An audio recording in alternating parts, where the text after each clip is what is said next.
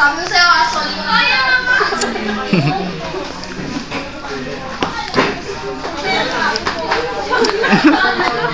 Dapa!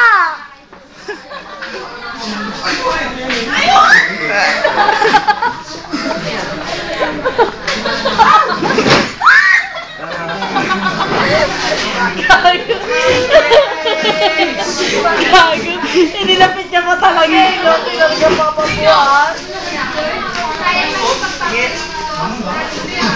eh. No? Talaga papabuhan. Baon! Bakit?